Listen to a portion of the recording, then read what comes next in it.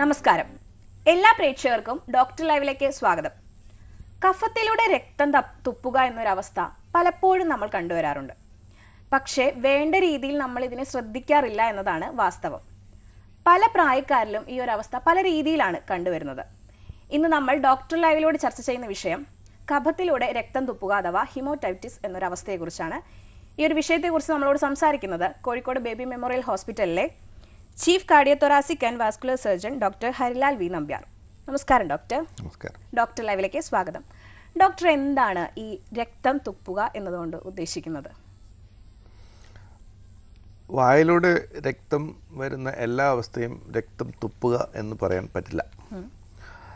ഉദാഹരണത്തിന് പല്ലിലെ ചെറിയ അസുഖങ്ങളിലോ അല്ലെങ്കിൽ നാക്കിലെ ചെറിയ മുറിവുകളിലോ തൊണ്ടയിലെയോ മൂക്കിലെയോ ഒക്കെ ചെറിയ ചെറിയ ചെറിയ കാരണങ്ങൾ കൊണ്ട് ബ്ലീഡിങ് വരുന്നതിനെ നമുക്ക് രക്തം തുപ്പുക എന്ന് പറയാൻ പറ്റില്ല. അതും വായിലൂടെ തന്നെയാണ് പുറത്തേക്ക് വരുന്നത്. അതേപോലെ തന്നെ രക്തം ഛർദ്ദിച്ചിട്ട് രക്തം വയറ്റിൽ വയറ്റിൽ നിന്ന് രക്തം വരുന്ന രക്തം ഛർദ്ദിച്ച് പുറത്ത് വരുന്നതിന് രക്തം തുപ്പുക എന്ന് പറയാൻ പറ്റില്ല. ചുമച്ച് കപത്തിലൂടെ വരുന്ന രക്തം തുപ്പലിനെയാണ് നമ്മൾ രക്തം തുപ്പുക എന്ന് പറയുക അഥവാ അതിന്റെ ശാസ്ത്രനാമം ഹിമോപ്റ്റൈസിസ്. ഹീമ എന്ന് പറഞ്ഞാൽ ബ്ലഡ് ടൈസിസ് എന്ന് പറഞ്ഞു കഴിഞ്ഞാൽ ഗ്രീക്ക് ഭാഷയിൽ ടൈസിസ് എന്ന് പറഞ്ഞാൽ തുപ്പുക. അപ്പോൾ ഹിമോപ്റ്റൈസിസ് എന്ന് പറഞ്ഞാൽ കപത്തിലൂടെ രക്തം തുപ്പുന്ന അവസ്ഥാവിശേഷത്തെക്കുറിച്ചാണ് ഇന്നത്തെ ചർച്ച. ഡോക്ടർ നമുക്കൊരു കോളിലേക്ക് പോവാം. ഹലോ. ഹലോ. നമസ്കാരം ഡോക്ടറോട് ചോദിച്ചോളൂ. ഹലോ നമസ്കാരം സാറേ. പറഞ്ഞോളൂ. സാറേ അതെ എനിക്ക് ഇടയ്ക്ക് ഈ ചുമച്ച് നമ്മൾ തുപ്പുമ്പോഴേ ഈ കടുകുമണിയുടെ ആ ഒരു വലിപ്പത്തിൽ കറുത്ത നിറത്തിൽ ഈ കുഞ്ഞു കുഞ്ഞ് ഇതായിട്ട് കഫം പോവാറുണ്ട്. അത് എപ്പോഴും ഇല്ല ചില സമയത്ത്. ചില സമയത്ത് അത് വലിയ ഒരു ചെറിയ ഒരുമാതിരി വലിയ ഉണ്ടയായിട്ട് പോകാറുമുണ്ട് രക്തക്കട്ടയാണ് ഉദ്ദേശിക്കുന്നത്? രക്തമല്ല ഒരു കറുത്ത കളറിലാ പോകുന്നത് കറുത്ത കളറിലാണ് പോകുന്നത് എപ്പോഴും രക്തം തുപ്പുന്നതായിട്ട് ശ്രദ്ധിച്ചിട്ടുണ്ടോ? ഇല്ല ഇല്ല രക്തം ഇതുവരെ വന്നിട്ടില്ല. ഇല്ല. പുക വലിക്കുന്ന ആളാണോ? അല്ലല്ല. അല്ല. ജോലി എന്താണ്? ജോലി എനിക്ക് പ്രിന്റിംഗ് സംബന്ധമായ ജോലിയാണ്. ശരി. എത്ര വയസ്സായി? നാൽപ്പത്തൊന്ന് നാൽപ്പത്തൊന്ന് നേരത്തെ എന്തെങ്കിലും ശ്വാസകോശ സംബന്ധമായ അസുഖങ്ങൾ ഉണ്ടായിരുന്നോ? നേരത്തെ ഉണ്ടായിട്ടില്ല. പണ്ട് ചെറുപ്പത്തിൽ എനിക്കൊരു ഇത് അഞ്ചാം പനി മോഡൽ വന്നിട്ടുണ്ടായിരുന്നു. ഈ ലിവറിനെ ബാധിക്കുന്ന ഒരു പനി. അത് പണ്ട് ചെറുപ്പത്തിൽ ഒരു അഞ്ചു വയസ്സുള്ളപ്പോഴാണ്. അത്രേ ഉള്ളൂ. ഓക്കെ. ഉള്ളൂ. ഇത് കേട്ടിടത്തോളം ഒരു വലിയ രക്തം തുപ്പുന്ന മാരകാവസ്ഥ പോലെ തോന്നുന്നില്ല. എന്നിരുന്നാലും ഈ കടുകുമണി കടുമണിയോളം കടുകുമണിയോളം വലിപ്പത്തിലുള്ള ആ കറുത്ത നിറത്തിൽ ഇടയ്ക്കിടയ്ക്ക് ഇങ്ങനെ പോകാറുണ്ട് കഫത്തിന്റെ കൂടെ. അതിപ്പോ എത്ര നാളായിട്ടുണ്ട്? ഒരു മൂന്ന് നാല് വർഷം നാലഞ്ച് വർഷമായിട്ടുണ്ട് അത്. ഓക്കെ. മറ്റ് പനി വേറെ ഇതുമായിട്ട് ബന്ധപ്പെട്ട് വേറെ ബുദ്ധിമുട്ടുകളൊന്നുമില്ല. ആ പനി ഇടയ്ക്കിടയ്ക്ക് വരാറുണ്ട്. അത് എനിക്ക് പനി വന്നു കഴിഞ്ഞാൽ ആദ്യം തലവേദന വരും. അത് കഴിഞ്ഞാൽ അത് പനിയാവും. പനി കഴിഞ്ഞാൽ ജലദോഷമാവും ജലദോഷം പിന്നെ ചുമയിലെ അവസാനിക്കുള്ളൂ. ചുമയിൽ അവസാനിച്ചു കഴിഞ്ഞാൽ ആദ്യം കുറെ കാലത്തേക്ക് ഈ ചങ്കിന്റെ അകത്ത് മഞ്ഞ നിറത്തിലാ കവം പോവുക അത് കഴിഞ്ഞാൽ ചുമയുടെ മരുന്നോ എന്തെങ്കിലുമൊക്കെ ആവിയൊക്കെ പിടിച്ചു കഴിയുമ്പോൾ പിന്നെ നോർമലായിട്ട് ഇതുപോലെ ഇടയ്ക്ക് ഇങ്ങനെ കവം പെട്ടെന്ന് ചിലപ്പോൾ നമ്മൾ പെട്ടെന്ന് ഇങ്ങനെ ചുമച്ചിട്ട് ഇങ്ങനെ എടുക്കുമ്പോഴത്തേക്ക് ഉള്ളിൽ നിന്ന് ഉണ്ടയായിട്ട് തെറിച്ചു വരും അത്. ഇത് വളരെ നാളായിട്ട് ശ്വാസകോശത്തിലുള്ള എന്തെങ്കിലും ബ്രോങ്കിക്ടേസിസ് എന്ന് പറയുന്ന ഒരവസ്ഥാവിശേഷമുണ്ട് അതായത് ശ്വാസനാളികൾ വികസിച്ച് അതിൽ അതിനകത്ത് കപം കട്ട പിടിച്ച് കിടന്ന് ചിലപ്പോൾ ചുമയ്ക്കുമ്പോൾ അത് ഒന്നായിട്ട് കട്ട പിടിച്ച് പുറത്തു പോരുന്ന ഒരു അവസ്ഥാവിശേഷം കണ്ടുവരാറുണ്ട്. അല്ലെങ്കിൽ ബ്രോങ്കൈറ്റിസ് പോലെ അല്ലെങ്കിൽ ഉള്ള അവസ്ഥാവിശേഷം കൂടി ആകാം. അപ്പോൾ എന്തായാലും അതിനെ സിമ്പിളായിട്ട് ചെയ്യാൻ പറ്റുന്നത് ഡോക്ടറെ കണ്ടിട്ട് ഒരു എക്സ്റേ എടുക്കേണ്ടി വരും. പിന്നെ അതിന്റെ ശേഷം കബ ഒന്ന് പരിശോധിപ്പിച്ച് കഴിഞ്ഞാൽ എന്താണ് ഈ പുറത്തു വരുന്ന സാധനം എന്നുള്ളത് നമുക്ക് കുറച്ചും കൂടി വ്യക്തമായ ധാരണ കിട്ടും. അത് രക്തമയമുണ്ടോ? അതിൽ എന്ത് തരം കോശങ്ങളാണ് വരുന്നത്? അതിൽ അണുബാധയുണ്ടോ? എന്നുള്ള കാര്യങ്ങളെ പറ്റിയൊക്കെ നമുക്ക് വിവരം കിട്ടും. അതിന്റെ അടിസ്ഥാനത്തിൽ നമുക്ക് കറക്റ്റായിട്ടുള്ള ചികിത്സ ചെയ്യാൻ പറ്റുന്നതാണ്. ഡോക്ടർ എന്തൊക്കെ കാരണങ്ങൾ കൊണ്ടാണ് ഇങ്ങനെ സംഭവിക്കുന്നത്? രക്തം തുപ്പൽ എന്ന് പറയുന്നതിന് ഓരോ പ്രായത്തിൽ ഓരോ കാരണങ്ങളാണ്. ഉദാഹരണത്തിന് കുട്ടികളിൽ പലപ്പോഴും രക്തം തുപ്പൽ എന്ന് പറഞ്ഞ് വരുന്നത് രക്തം തുപ്പലേ ആവണമെന്നില്ല. അത് അവർ ഏറ്റവും കൂടുതൽ ചെയ്യുന്ന ഒരു മൂക്കിനകത്തൊക്കെ വിരലിടും. വിരലിട്ട് നഖം കൊണ്ടിട്ടും മൂക്കിൽ നിന്ന് തൊലി പോയിട്ട് ബ്ലീഡിങ് വരും. ആ രക്തം അവർ വായിലേക്ക് ഇറക്കുകയും അവർ ചിലപ്പോൾ അത് തുപ്പുമ്പോൾ രക്തമായിട്ട് വരും. അപ്പം അല്ലെങ്കിൽ ചെറിയ കുട്ടികൾ കഴിഞ്ഞ മുട്ടിൽ നടക്കുന്ന കുട്ടികളൊക്കെ ആണെങ്കിൽ അവർ നിലത്ത് കണ്ട സാധനങ്ങളൊക്കെ എടുത്ത് വായിലിടുകയും അതിന് നമ്മൾ ഫോറിൻ ബോഡി ആസ്പിറേഷൻ എന്ന് പറയും. ചില കട കടലയോ കടുകുമണിയോ ഒക്കെ നമ്മൾ കുട്ടികൾ വായിലേക്ക് ഇടുകയും അത് ശ്വാസനാളത്തിൽ പോയി ബ്ലോക്ക് ആവാനുള്ള സാധ്യതയുണ്ട്. പലപ്പോഴും അത് അറിഞ്ഞുകൊള്ളുന്നത്. അത് അവിടെ ഇരുന്ന് കുറച്ച് കഴിയുമ്പോൾ ചെറിയ അണുബാധയൊക്കെ വന്നിട്ട് അത് ചുമച്ചു തുപ്പുമ്പം രക്തമയം കാണാം. പക്ഷേ മുതിർന്നവരിൽ കൂടുതലായിട്ട് ഇത് കാണുന്നതിന്റെ ഏറ്റവും കോമൺ ആയിട്ട് കാണുന്നത് കഫത്തിൽ രക്തമയം. രക്തമയം എന്ന് പറയുന്നത് കൂടുതലായിട്ട് കാണുന്നത് ബ്രോങ്കൈറ്റിസ് എന്ന് പറഞ്ഞാൽ ശ്വാസനാളത്തിന്റെ അണുബാധ. ബ്രോങ്കൈറ്റിസ് അല്ലെങ്കിൽ ന്യൂമോണിയ ന്യൂമോണിയ എന്ന് പറഞ്ഞാൽ ശ്വാസകോശത്തിന്റെ അണുബാധ. അതിലാണ് കൂടുതലായിട്ടും ഇതുപോലെ രക്തത്തുപ്പിൽ കാണുക. കൂടാതെ നേരത്തെ ടി ബിയുടെ അസുഖമുള്ളവരിൽ ഏം, രക്തം തുപ്പൽ കാണപ്പെടാം. പിന്നെ ടി ബിയുടെ തന്നെ അല്ലെങ്കിൽ വളരെ നാളെ നിൽക്കുന്ന ആസ്മയുടെ ഭാഗമായി വരുന്ന ബ്രോങ്കിക്ടേസ് ഞാൻ പറഞ്ഞു ശ്വാസനാളികൾ വികസിച്ച് ഇരിക്കുന്ന ഒരു അവസ്ഥാവിശേഷം. അതിലും രക്തം തുപ്പൽ കാണപ്പെടാം. കൂടാതെ പുകവലിക്കാരിൽ പ്രത്യേകിച്ചും ഒരു മധ്യ ഒരു മിഡിൽ ഏജ് കഴിഞ്ഞവരിലാണെങ്കിൽ ശ്വാസകോശത്തിന്റെ ക്യാൻസർ ഒരു ഇരുപത് ശതമാനം രക്തം തുപ്പലിന്റെ കാരണം എന്ന് പറയുന്നത് ലങ് ക്യാൻസർ ആകാം. അപ്പോൾ ഇത് നിസ്സാരമായ കാര്യവുമാകാം അതേപോലെ ഗൗരവമുള്ള കാര്യവുമാകാം. ഡോക്ടറെ കോളിലേക്ക് പോകാം. ഹലോ? ഹലോ? നമസ്കാരം ഡോക്ടറോട് ചോദിച്ചോളൂ. ഓക്കെ. സാർ സാർ നമസ്കാരം. പറഞ്ഞോളൂ. സാർ എന്റെ ഇപ്പൊ ഒരു രണ്ടാഴ്ചയായിട്ടേ എനിക്ക് ഇപ്പൊ നാല്പത്തഞ്ച് വയസ്സായി. അപ്പോ ഇടക്കിടക്ക് ഭയങ്കരമായിട്ട് തുമ്മൽ വരുമായിരുന്നു അപ്പൊ തുമ്മൽ പിന്നെ അത് ചുമയായി മാറും. അപ്പൊ ചുമച്ചിട്ട് പിന്നെ മഞ്ഞ കളറ് മഞ്ഞ കവ വരും. ഏ? അപ്പോ ഇതിന്റെ ഡോക്ടറെ കാണിച്ചു? ഡോക്ടറെ കാണിച്ചിട്ട് ആവി പിടിക്കാൻ പറഞ്ഞു. രാത്രി കിടക്കുന്ന സമയത്തൊക്കെ ഭയങ്കരമായിട്ട് ഒരു ബിസിനസ് സൗണ്ട് ഉറങ്ങുന്ന സമയത്ത്. അപ്പോ ഉറങ്ങാൻ ബുദ്ധിമുട്ട്. ഒരു പിന്നെ ശ്വാസം മുട്ടലല്ല ഒരു ഇങ്ങനെ ഒരു വല്ലാത്തൊരു സൗണ്ടിങ് ഇങ്ങനെ വന്നോളൂ. അപ്പൊ അത് ആ ശല്യം കൊണ്ടാണ് ഡോക്ടറെ കാണിച്ചു വന്നിട്ട് ആന്റിബയോട്ടിക് തന്നു. അതുപോലെ അഞ്ചു ദിവസം കഴിച്ചു. അതുപോലെ തന്നെ അത് വിട്ടുപോകുന്നില്ല വിട്ടുപോകുന്നില്ല സെറ്റിസിൻ സെട്രിസിൻ ടാബ്ലറ്റും അതുവാ തന്നത് ഡോക്ടർ ആവി പിടിക്കുകയും ചെയ്തു. അപ്പൊ അത് ശവം പോകുന്നത് ഒരു മഞ്ഞ കളർ കത്തി പിടിച്ചിട്ട് മഞ്ഞ കളറിലാണ് പോകുന്നത്. ഓക്കെ. അപ്പോൾ ഇത് രണ്ടാഴ്ച മരുന്ന് കഴിച്ചു അസുഖം പൂർണമായും ഞാനിപ്പോ ഓ. പറയൂ. അഞ്ച് ദിവസത്തെ ആന്റിബയോട്ടിക് അൽട്രോസ് എന്ന് പറയുന്ന ആ ഗുളികയും അതെ. അത് അഞ്ചു ദിവസം കഴിച്ചു. ഏകദേശം ഒരു പത്ത് ദിവസമായി. ഓക്കെ. അപ്പോൾ ഇത് നമ്മൾ കഷ്ടി പത്ത് ദിവസത്തോളം നമ്മൾ അലർജിക്കുള്ള പോലെ മരുന്നും ആന്റിബയോട്ടിക്കും ഒരു കോഴ്സ് കഴിച്ചു. സാധാരണഗതിയിലുള്ള ചെറിയ ബ്രോങ്കൈറ്റിസ് ഒക്കെ ആണെങ്കിൽ ഇതിൽ തന്നെ ക്ലിയർ ആകേണ്ടതാണ്. ഇതിൽ ക്ലിയർ ആകുന്നില്ല എന്നുണ്ടെങ്കിൽ അടുത്ത നമ്മളുടെ ചികിത്സാ രീതി എന്ന് പറഞ്ഞു കഴിഞ്ഞാൽ എന്തുകൊണ്ടാണ് ഈ കഫക്കെട്ട് വരുന്നത് എന്നുള്ളതിനെപ്പറ്റി കുറച്ചും കൂടി ക്ലിയർ വ്യക്തത വരുത്താനുണ്ട്. അപ്പോൾ സിമ്പിളായിട്ടുള്ള കാര്യം കഫം ഒന്ന് പരിശോധിപ്പിക്കാൻ കൊടുക്കുക എന്നുള്ളൂ കഫം പരിശോധിപ്പിക്കുമ്പോൾ അതിനകത്ത് ഈ കഫം അണുബാധ കൊണ്ടുണ്ടായതാണോ? അതിൽ അല്ലെങ്കിൽ വേറെ ഏതും കുറേ നാളുകളായി നിൽക്കുന്ന അസുഖങ്ങൾ കൊണ്ട് ഉണ്ടായതാണോ? കഫവും രക്തവും പരിശോധിച്ച് കഴിഞ്ഞാൽ തന്നെ അത്യാവശ്യം എന്തുകൊണ്ടാണ് ഈ വിട്ടുമാറാത്ത ചുമ എന്നുള്ളതിനെ പറ്റി നമുക്ക് ഒരു ഐഡിയ കിട്ടും. ഒരു നെഞ്ചിന്റെ എക്സ്റേ കൂടി എടുത്തു കഴിഞ്ഞാൽ ഡോക്ടർക്ക് ഏറെക്കുറെ കാര്യങ്ങൾ നിർണയിക്കാൻ പറ്റും. വിളിച്ചതിന് നന്ദി. ഡോക്ടർ മറ്റൊരു കോളിലേക്ക് പോകാം. ഹലോ? ഹലോ? നമസ്കാരം ഡോക്ടറോട് ചോദിച്ചോളൂ. ആ ഈ കസറ ഈ കഫക്കെട്ടേക്ക് എങ്കിലും കഫം വന്നിങ്ങനെ അടഞ്ഞിരിക്കും. ആ. ശബ്ദം ശബ്ദം ക്ലിയർ ആവണില്ല. ഓ. ഒരു മാസമായി തുടങ്ങി. ഒരു മാസമായി ഒരു മാസമായി മരുന്നുകൾ എന്തെങ്കിലും കഴിക്കുന്നുണ്ടായിരുന്നോ അതിന് വേണ്ടി? കഴിക്കുന്നുണ്ട് കഴിക്കുന്നുണ്ട് സാർ കഴിക്കുന്നുണ്ട്. കഴിച്ചിട്ട് പ്രത്യേകിച്ച് ഒരു ഇമ്പ്രൂവ്മെന്റ് കുറവുണ്ട് അല്ല പറയാതെ പറഞ്ഞു മാറിയിട്ടില്ല എപ്പോഴും. ശബ്ദം അങ്ങനെ ശബ്ദത്തിന് കുറച്ച് വ്യത്യാസം ഉണ്ടെന്നാണ് പറയുന്നത് അല്ലേ? അതെ സാർ. ഇത് മിക്കവാറും ഒരു അലർജിയുടെ ഭാഗമായിട്ട് വരുന്നതാവാൻ രക്തം തുപ്പലോ അങ്ങനെ എന്തെങ്കിലും ഉണ്ടോ? അങ്ങനെയില്ല. അപ്പോൾ ഇത് അലർജിയുടെ ഭാഗമായിട്ട് വരാനാണ് സാധ്യത. കുറച്ച് നാൾ തുടർച്ചയായിട്ട് ഈ അലർജിയുടെ ഗുളികകൾ കഴിക്കുകയും കപത്തിന് കഫത്തിന് നിറവ്യത്യാസമൊന്നുമില്ല എന്നുണ്ടെങ്കിൽ ആന്റി അലർജിക് മെഡിസിൻസ് മാത്രം മതിയാകും. പിന്നെ അതിന്റെ അസുഖം വീണ്ടും അതുപോലെ തുടർന്ന് നിൽക്കുകയാണെങ്കിൽ ഏം, ഏഹ്, ശ്വാസനാളിക്ക് ഉള്ളിലേക്ക് നമുക്ക് ഒരു ക്യാമറ കടത്തി പരിശോധിക്കുന്ന ഒരു ബ്രോങ്കോസ്കോപ്പി എന്ന് പറയുന്ന ചില ടെസ്റ്റുകൾ വേണ്ടി വന്നേക്കാം. അത് ഒരു രണ്ട് മാസത്തിന്റെ മുകളിൽ നിങ്ങൾക്ക് ഈ ബുദ്ധിമുട്ടുകൾ തുടരുകയാണെങ്കിൽ മാത്രം മതിയാകും. ഡോക്ടർ ഈ ശ്വാസകോശ സംബന്ധമായ പ്രശ്നങ്ങൾക്ക് മാത്രമാണ് ഇത് കണ്ടുവരുന്നത്? അല്ല രക്തം ശ്വാസകോശത്തിൽ നിന്ന് രക്തം തുപ്പുന്നത് എല്ലാ അസുഖങ്ങളും ശ്വാസകോശ സംബന്ധമായതാകണം എന്നില്ല. ഉദാഹരണത്തിന് ഹാർട്ടിന്റെ പ്രോബ്ലം ഉണ്ട് ഹാർട്ടിന്റെ ഉള്ളിലെ ചില വാൽവുകളുടെ തകരാറ്. മൈട്രൽ വാൽവ് എന്ന് പറയുന്ന വാൽവ് ചുരുങ്ങി പോകുമ്പോൾ ശ്വാസകോശത്തിൽ രക്തം തിങ്ങിയിട്ട് അത് രക്തം ഒരു പിങ്ക് കളറിൽ പതയായിട്ട് നമുക്ക് തുപ്പാം. തുപ്പാനുള്ള സാധ്യതയുണ്ട്. അപ്പോൾ കാർഡിയാക്ക് കോസ് കൊണ്ടും ഹാർട്ടിന്റെ പ്രോബ്ലം കൊണ്ടും രക്തം തുപ്പാം.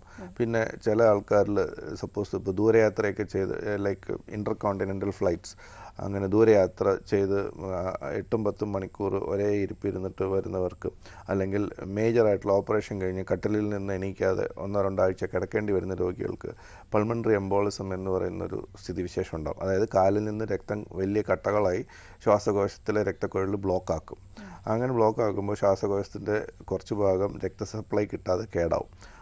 അതിൽ നിന്ന് രക്തം തുപ്പാം. പിന്നെ ചില അപൂർവമായി രക്തം കട്ട പിടിക്കാതിരിക്കാനുള്ള മരുന്നുകൾ കഴിക്കുന്ന രോഗികൾ കാണും. ഉദാഹരണത്തിന് ഇപ്പോൾ ഹാർട്ട് പേഷ്യൻസ് ആണെങ്കിൽ ആസ്പിരിൻ ആന്റി പ്ലേറ്റ്ലെറ്റ് ഡ്രഗ്സ് പിന്നെ വാൽവിന് തകരാറുള്ളവരാണെങ്കിൽ രക്തം കട്ട പിടിക്കാതിരിക്കാനുള്ള ആന്റി കോയഗലന്റ് മരുന്നുകൾ കഴിക്കുന്നവർ. അങ്ങനെയുള്ള ആൾക്കാരിലും ഇതുപോലെ രക്തം തുപ്പൽ വരാം. പിന്നെ കൊക്കെയിൻ എന്ന് പറയുന്ന ഡ്രഗ് യൂസേഴ്സ് അത് മൂക്കി കൂടെ വലിച്ചാണ് ഇവരെടുക്കുന്നത് അങ്ങനെയുള്ളവരിൽ രക്തം തുപ്പൽ കാണാം. പിന്നെ വളരെ അപൂർവമായി ചില ലേഡീസിൽ മാസമുറയോട് ബന്ധപ്പെട്ട് ഇതുപോലെ രക്തം തുപ്പൽ കാണാം. അപ്പോൾ എല്ലാ കാരണങ്ങൾക്കും ശ്വാസകോശ സംബന്ധ ശ്വാസകോശം മാത്രമായിരിക്കണമെന്നില്ല കുറ്റവാളി. ബാക്കി അവയവങ്ങളുടെ പ്രശ്നം കൊണ്ടും ഇതുപോലെ രക്തം തുപ്പൽ കാണപ്പെടാം. ഡോക്ടർ നമുക്കൊരു ഇടവേളയ്ക്കുള്ള സമയമാണ്. ഡോക്ടർ ലൈവിൽ ഒരു ഇടവേള.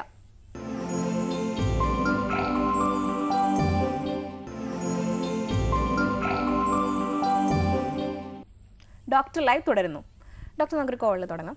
ഹലോ. Hello hello. നമസ്കാരം ഡോക്ടറോട് ചോദിച്ചോളൂ. ഹലോ പിന്നെ എനിക്ക് ജലദോഷം ഉണ്ടായിരുന്നു. എന്നിട്ട് ജലദോഷത്തിന്റെ ഗുളിക കഴിച്ചു. പിന്നെ ഇപ്പോ കഫത്തിൽ ബ്ലഡ് ആയിട്ടാ വരുന്നത്. എത്ര നാളായി ബ്ലഡ് വരാൻ തുടങ്ങിയിട്ട്? വരാൻ തുടങ്ങിയിട്ട് ഇന്നലെ തുടങ്ങിയത്. ഒരാഴ്ച ജലദോഷത്തിന്റെ ഗുളിക കുടിച്ചിട്ട്. ആ ഇത് അത്ര ഭയപ്പെടാനുള്ള അവസ്ഥയായിട്ട് തോന്നുന്നില്ല. ഇത് ചെറിയ ശ്വാസകോശത്തിലെ അണുബാധയോട് ബന്ധപ്പെട്ട് വരുന്ന രക്തം തുപ്പലാണ്. ഇത് നമ്മളുടെ ആ അണുബാധ മാറുന്നതോടെ ആന്റിബയോട്ടിക് കഴിച്ച് ഒരാഴ്ചയോ പത്ത് ദിവസമോ ആന്റിബയോട്ടിക് കഴിച്ച് അണുബാധ മാറുന്നതോടെ ഈ രക്തം തുപ്പലും ക്ലിയർ ആയിക്കൊള്ളും. വിളിച്ചതിന് നന്ദി. ഡോക്ടർ ഇതിന്റെ ഒരു ഗൗരവാവസ്ഥ എങ്ങനെ അളക്കാം? രക്തം തുപ്പുന്നതിന്റെ അളവ് വെച്ചിട്ട് നമുക്ക് ഏകദേശം ഇതിനെപ്പറ്റി ഇതിനെ നിസാരം എന്ന് പറയാം അല്ലെങ്കിൽ ഇടത്തരം എന്ന് പറയാം അല്ലെങ്കിൽ മേജർ എന്ന് പറയാം. ഉദാഹരണത്തിന് ഇരുപത്തിനാല് മണിക്കൂറിൽ അമ്പത് മില്ലിയിൽ താഴെ രക്തം വരുന്നുള്ളെങ്കിൽ അതിനെ ചെറിയ രക്തം തുപ്പൽ എന്ന് പറയാം. അമ്പത് മില്ലി മുതൽ ഇരുന്നൂറ് മില്ലി വരെ ഉണ്ടെങ്കിൽ അതിനെ ഇരുപത്തിനാല് മണിക്കൂറിൽ രക്തം തുപ്പുന്നുണ്ടെങ്കിൽ നമ്മൾ അതിന്റെ അളവെടുക്കുകയാണെങ്കിൽ അതിനെ ഇടത്തരം എന്ന് പറയാം. ഇരുന്നൂറ് മില്ലി ടു അറുന്നൂറ് മില്ലി വരെ ആണെങ്കിൽ അതിനെ മേജർ സീരിയസ് എന്ന് പറയണം. അറുന്നൂറ് മില്ലിയിലും കൂടുതലാണെങ്കിൽ അതിനെ ലൈഫ് ത്രെട്ടണിങ് അല്ലെങ്കിൽ മാസീവ് ഹിമോപ്റ്റേസിസ് എന്ന് പറയാം. അതായത് എന്തുമാത്രം രക്തം തുപ്പുന്നു എന്നുള്ള അളവിനനുസരിച്ചായിരിക്കണം രോഗിയുടെ ചികിത്സയുടെ പ്രാധാന്യം. ചില കേസുകൾ ഡോക്ടറെ മെല്ലെ പോയി കണ്ടാൽ മതിയായിരിക്കും. പക്ഷേ മേജറായിട്ട് ഒരു അറുന്നൂറ് മില്ലി കൂടുതൽ രക്തം ഒരു ദിവസം തുപ്പുന്ന ഒരു രോഗി ഒരിക്കലും അതും വെച്ചുകൊണ്ടിരിക്കുന്നത് ശരിയാവില്ല. എത്രയും വേഗം ഡോക്ടറെ കണ്ട് അതൊരു പക്ഷേ മെഡിക്കൽ എമർജൻസി ആയി മാറിയേക്കാം. ഡോക്ടർ ഈ ഒരു അവസ്ഥയിൽ നമ്മൾ രോഗിയെ ഹോസ്പിറ്റലിലേക്ക് കൊണ്ടുപോകുമ്പോൾ എന്തൊക്കെ കാര്യങ്ങളാണ് ശ്രദ്ധിക്കേണ്ടതുള്ളത്? രക്തം തുപ്പുന്നതിന്റെ അളവിനനുസരിച്ചാണ്. സപ്പോസ് ചെറിയ ബ്ലീഡിംഗ് ഉള്ള രോഗിക്കാണെങ്കിൽ പ്രത്യേകിച്ച് നമ്മൾ പ്രത്യേകിച്ച് പ്രതിവിധികളൊന്നും എടുക്കേണ്ട കാര്യമില്ല. പക്ഷേ അതേസമയം അറുന്നൂറ് മില്ലി അല്ലെങ്കിൽ ഒരു ലിറ്ററോളം ബ്ലഡ് പെട്ടെന്ന് ചുമച്ച് തുപ്പുന്ന രോഗിയാണെങ്കിൽ ഇതിനകത്തുണ്ടാകുന്ന ഏറ്റവും വലിയൊരു അപകടാവസ്ഥ എന്ന് പറയുന്നത് രക്തം വാർന്ന രോഗി നഷ് രോഗിക്ക് ജീവഹാനി സംഭവിക്കാം. അതിനെക്കാട്ടും കൂടുതൽ എന്താണെന്ന് വെച്ച് കഴിഞ്ഞാൽ നമ്മളുടെ തന്നെ രക്തത്തിൽ രോഗി മുങ്ങി മരിക്കാനുള്ള ഒരു സാധ്യത. അതായത് രോഗിയുടെ ശ്വാസകോശത്തിൽ നിന്ന് വരുന്ന രക്തം രക്ത ശ്വാസകോശത്തിനകത്ത് തളം കെട്ടി നിന്ന് രോഗിക്ക് ശ്വാസം വലിക്കാൻ വയ്യാതെ രോഗി മരിച്ചു പോകുന്ന ഒരവസ്ഥ ഉണ്ടാവും. അതിനെ തടയാൻ വേണ്ടി സപ്പോസ് നമുക്ക് നേരത്തെ നമ്മളുടെ ശ്വാസകോശത്തിന്റെ ഏതെങ്കിലും ഒരു ഭാഗത്ത് മാത്രമേ അസുഖമുള്ളൂ എന്ന് രോഗിക്ക് അറിയാമെങ്കിൽ ആ സപ്പോസ് ഇപ്പോൾ വലത് ഭാഗത്ത് മാത്രമേ അസുഖമുള്ളൂ എന്ന് രോഗിക്ക് മുൻകൂട്ടി ചികിത്സയിലൂടെയോ പരിശോധനകളോ അറിയാമാണ് അറിയാമായിരുന്നെങ്കിൽ നമുക്ക് ഈ കേട് വന്നിട്ടുള്ള ശ്വാസകോശം ഡിപ്പെൻഡന്റ് ആക്കി വയ്ക്കുക എന്ന് പറഞ്ഞാൽ അടിഭാഗത്ത് വയ്ക്കുക അപ്പോൾ കേടില്ലാത്ത ശ്വാസകോശത്തിലേക്ക് വായു സഞ്ചാരം പ്രശ്നമില്ല. പ്രശ്നമില്ലാതെ പോകും അപ്പോൾ അങ്ങനെ രോഗീനെ ട്രാൻസ്പോർട്ട് ചെയ്യുന്നതിൽ ബുദ്ധിമുട്ടില്ല. പിന്നെ എപ്പോഴും ഉള്ളത് ശ്വാസകോശത്തിലെ ബ്ലഡ് ശ്വാസകോശത്തിൽ കെട്ടി നിൽക്കാതെ പുറത്തേക്ക് ഒഴുകി വരുന്ന രീതിയിൽ. എന്ന് പറഞ്ഞാൽ തലഭാഗം കുറച്ച് താത്തി വയ്ക്കുക രോഗീനെ ഷിഫ്റ്റ് ചെയ്യുമ്പോൾ. അപ്പോൾ ഉള്ള രക്തം ശ്വാസകോശത്തിൽ തളം കെട്ടാതെ പുറത്തേക്ക് ചുമച്ച് തുപ്പിക്കൊണ്ടേയിരിക്കും. അപ്പോൾ രോഗിക്ക് പെട്ടെന്ന് ശ്വാസം മുട്ടി മരിക്കാനുള്ള ഒരവസ്ഥ ഉണ്ടാകുന്നില്ല ഡോക്ടർ ലൈവിൽ മറ്റൊരു ഇടവേള.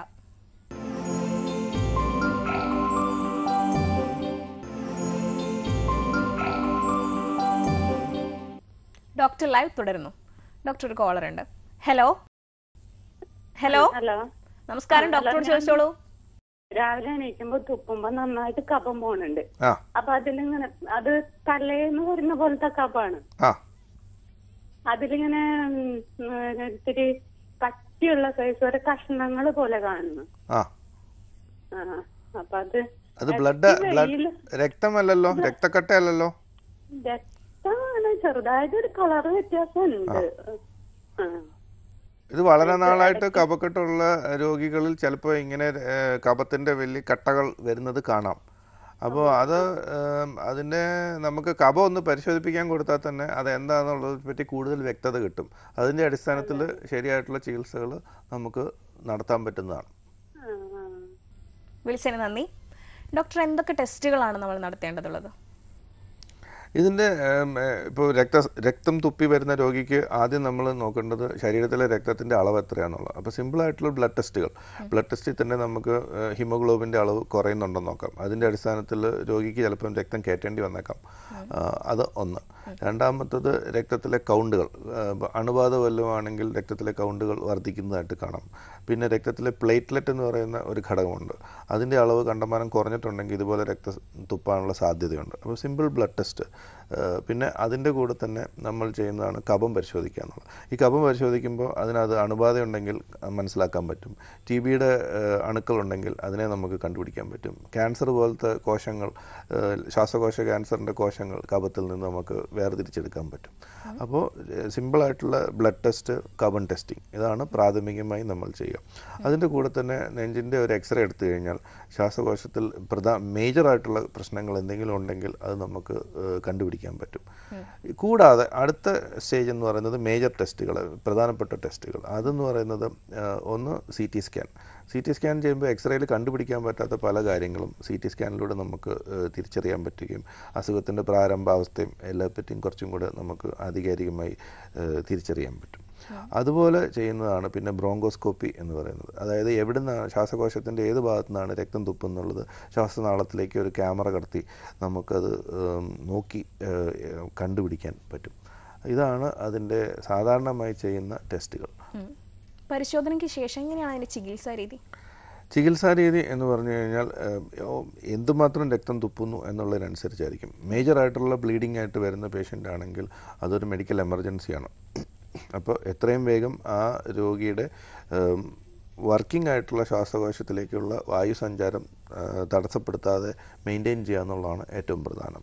അതിനായി ചിലപ്പം രോഗിയുടെ ശ്വാസനാളത്തിലേക്ക് ഒരു ട്യൂബ് കടത്തി ബ്ലീഡിംഗ് ഉള്ള ഭാഗത്തും ബ്ലീഡിംഗ് ഇല്ലാത്ത ഭാഗം തമ്മിൽ വേർതിരിക്കും. രണ്ടാമത്തെ കാര്യം ചെയ്യുന്നത് വെച്ചാൽ രക്തസ്രാവം കണ്ടമാനമായിട്ടുണ്ടെങ്കിൽ രക്തം കയറ്റേണ്ടി വന്നേക്കാം. അങ്ങനെ രോഗീനെ കണ്ടീഷൻ സ്റ്റെബിലൈസ് ചെയ്തതിന്റെ ശേഷം പിന്നെ നമ്മൾ ഇതിന്റെ കാരണത്തിലേക്ക് പോകുന്നു. അപ്പോൾ നമ്മളൊരു ബ്രോങ്കോസ്കോപ്പി ചെയ്യുമ്പോൾ നമുക്ക് ശ്വാസനാളത്തിന്റെ ശ്വാസകോശത്തിന്റെ ഏത് ഭാഗത്തു നിന്നാണ് ബ്ലീഡിംഗ് എന്നുള്ളത് ഒരു പരിധി വരെ നമുക്ക് അറിയാൻ പറ്റും. ബ്രോങ്കോസ്കോപ്പി നമുക്ക് അസുഖം ബ്ലീഡിങ് എവിടെ നിന്നാണ് കണ്ടുപിടിക്കാനും പറ്റും. അതോടൊപ്പം തന്നെ ഈ ശ്വാസനാളത്തിൽ കെട്ടിക്കിടക്കുന്ന രക്തത്തിന്റെ കട്ടകളൊക്കെ വലിച്ചെടുത്ത് ശ്വാസോച്ഛ്വാസം സുഗമമാക്കാനും അത് ചികിത്സയും കണ്ടുപിടിക്കാനും രണ്ടിനും ബ്രോങ്കോസ്കോപ്പി പറ്റും. ഈ ഇത് ഇതിന്റെ ശേഷം സപ്പോസ് ഇപ്പം ഒരു പർട്ടിക്കുലർ പോയിന്റിൽ നിന്ന് ബ്ലീഡിംഗ് ഉണ്ടെങ്കിൽ അതിനുള്ള സൗകര്യങ്ങളുള്ള ആശുപത്രികളിലാണെങ്കിൽ ഒരു പൾമണറി ആൻജിയോഗ്രാഫി എന്ന് പറയും. അതായത് ഒരു മരുന്ന് കുത്തിവെച്ച് സി ടി സ്കാൻ എടുക്കുക. അപ്പോൾ ഈ ബ്ലീഡിംഗ് ഉണ്ടാകുന്ന രക്തക്കുഴലുകൾ ഏതാണെന്ന് നമുക്ക് കണ്ടുപിടിക്കാൻ പറ്റും. അതുണ്ടെങ്കിൽ കീഹോൾ സർജറിയിലൂടെ നമുക്ക് ഈ ബ്ലീഡിംഗ് രക്തക്കുഴലുകളെ ബ്ലോക്ക് ചെയ്യാൻ പറ്റും. അത് ഒരു പരിധിവരെ ഈ രക്തസ്രാവത്തിനെ നിയന്ത്രിക്കും. ഇതിനോടൊപ്പം തന്നെ ബ്രോങ്കോസ്കോപ്പിലൂടെ നമുക്ക് ചില മരുന്നുകൾ ഒറ്റിച്ചു കൊടുത്ത് ഈ ബ്ലീഡിങ്ങിനെ നമുക്ക് കൺട്രോൾ ചെയ്യാൻ പറ്റും. ഇതൊന്നും പറ്റുന്നില്ല എന്നുണ്ടെങ്കിൽ പിന്നെ ആ ബ്ലീഡിംഗ് ഉള്ള സ്ഥലം വ്യക്തമായി നമുക്ക് തിരിച്ചറിഞ്ഞാൽ ഒരു പക്ഷേ ശ്വാസകോശത്തിന്റെ ആ ഒരു ഭാഗം നീക്കം ചെയ്യുമ്പോൾ നമുക്ക് രക്തസ്രാവം കൺട്രോൾ ചെയ്യാൻ പറ്റും.